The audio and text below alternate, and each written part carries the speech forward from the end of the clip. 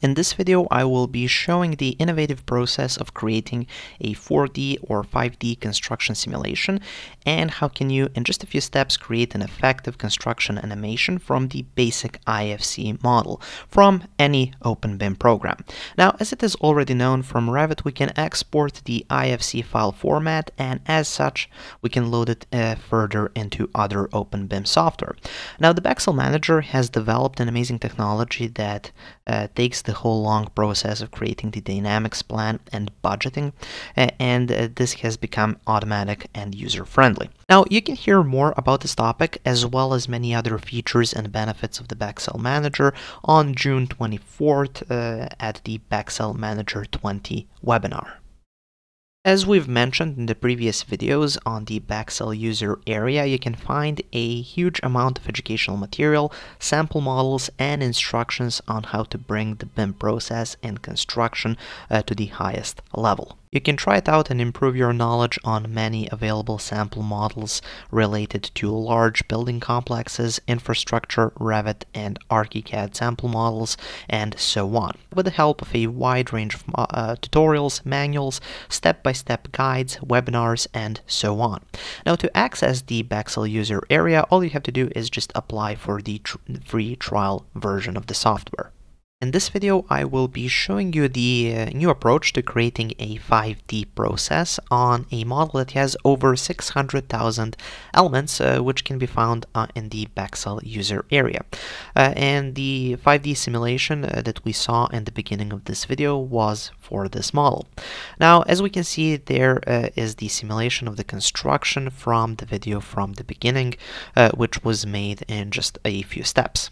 Also, the model comes with a very detailed instruction that will guide you step by step uh, to the final 5D simulation so that everyone can understand and learn from the process and see how automated and improved the planning process and construction has become.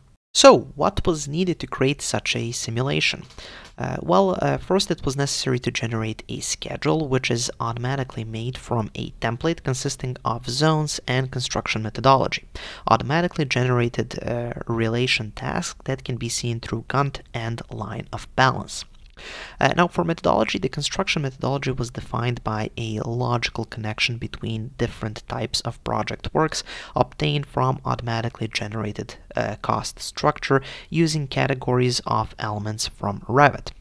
Zones uh, are obtained from selection sets made either manually or generated via a custom breakdown structure wizard that is a custom breakdown generated uh, the elements according to a certain property such as level, building, phase, etc. The cost structure was also created with the help of the creation wizard, just a few steps from the model-based quantity takeoff. Uh, the uh, created structure can be changed at any time, supplemented with a new structure uh, of uh, bill of quantities or individual positions in order to achieve the desired structure, which means that the first step would be to create a work breakdown structure of the bill of quantities, uh, QTO, uh, based on the pro uh, properties of elements and their quantities from which we will generate the cost classification. As we can see, Revit's categories and families were used uh, to get the structure. We will uh, open the zero initial model and start the process of creating dynamics starting from the creation of quantity takeoff. Uh, in order not to get acquainted uh, in detail with the content of the model, it would be best, as written in instructions, to import selection sets uh, for the first step, which have a basic division into architectural, structural, MEP works, and landscape. Uh, we will use the group of works folder uh, and selection sets within it as the initial selection uh, of the co whole complex for further work on creating dynamics. So this division uh, has already been done in the model and if we want to apply the this principle to one of our models we'll have to create a selection set based on families or work sets most often by model sources uh, because most uh, mostly different professions are modeled in separate models. Uh, then the next step uh, in the structure would be to the division by categories and the last uh, by families from the model. Finally we will add uh, the quantity or count and later for certain types with multiple selection uh, fine tune in which unit and in which formula we want the certain positions uh, to be in our budget structure.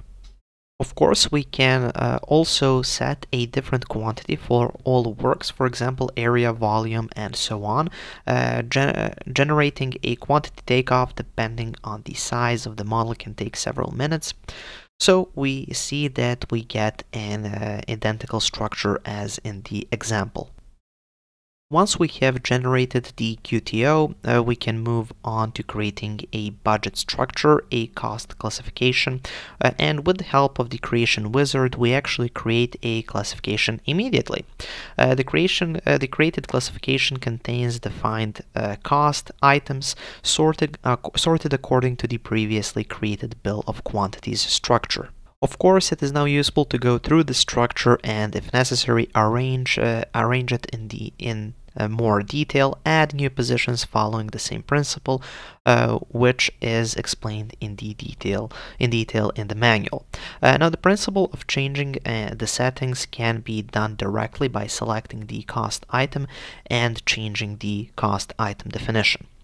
We will select several concrete beams and change the parameters within the cost item definition. We will change the formula to volume, quantity type, and unit. In this way, if we want a more accurate analysis, it is useful to go through the whole structure. Uh, for initial 4D and 5D animations, we can just skip this step.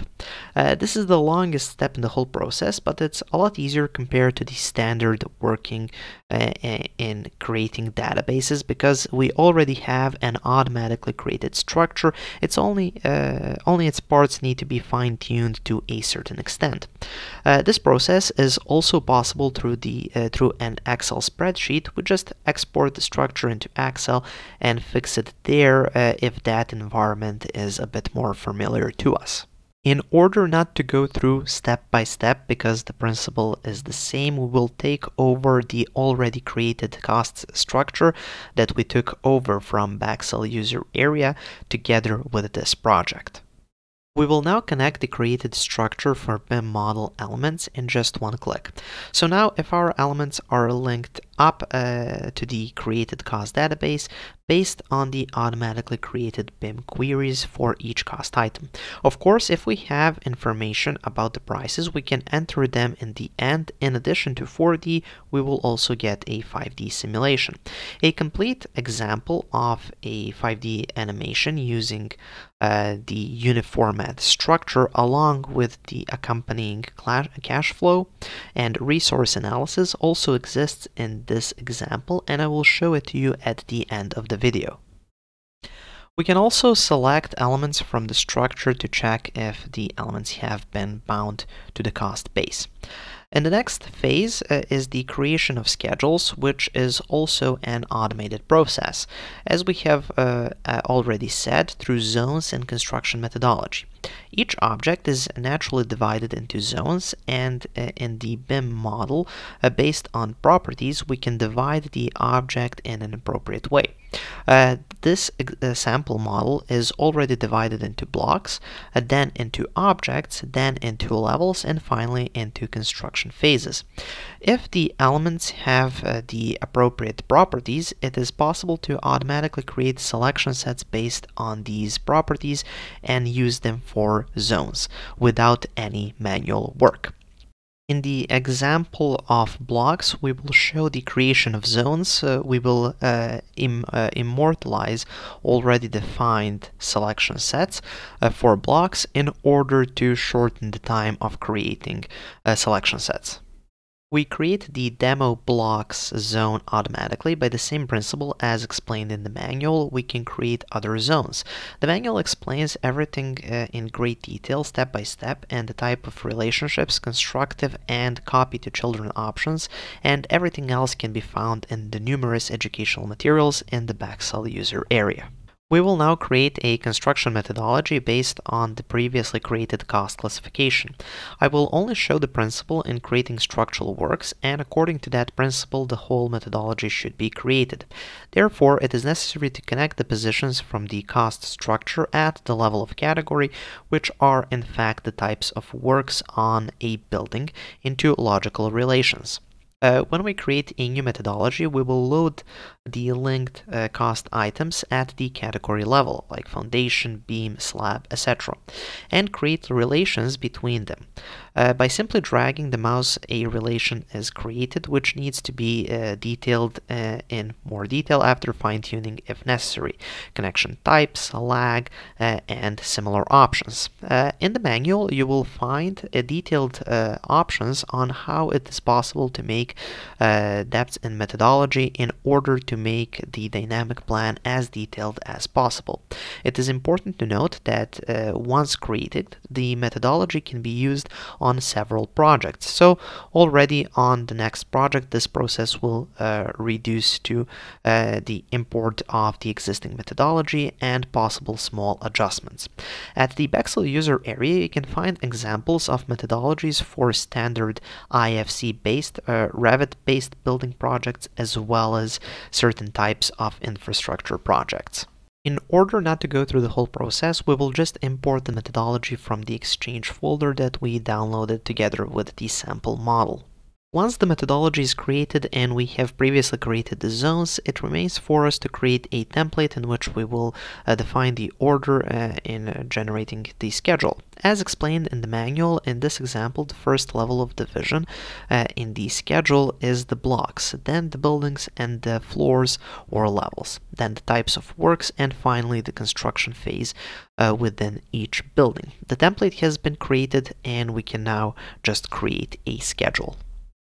We automatically create a schedule that contains over 60,000 tasks and relations, and already during the, its creation we connect the previously created structure with cost items.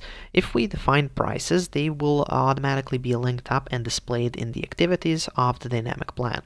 Uh, when the, the schedule is created, by clicking on the creation wizard, we will import the previously created template and automatically get the finished dynamics with the created uh, relations, task durations, etc. We can see the created dynamic through Gantt and line of balance, which gives us a much clearer picture of time schedule of tasks and finally additionally arrange the tasks, lengths, types of relations, lags, and the like.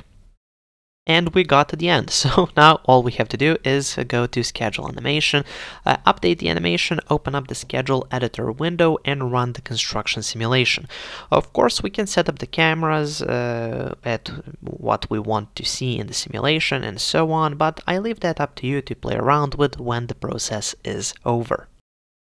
If we choose a dynamic plan from the sample uh, model that is created using the Uniformat cost database and methodology, in addition to 5D simulation, we will uh, get a very detailed cash flow analysis uh, on annual, monthly, and daily levels, as well as resource analysis for a complete project or selected group of activities.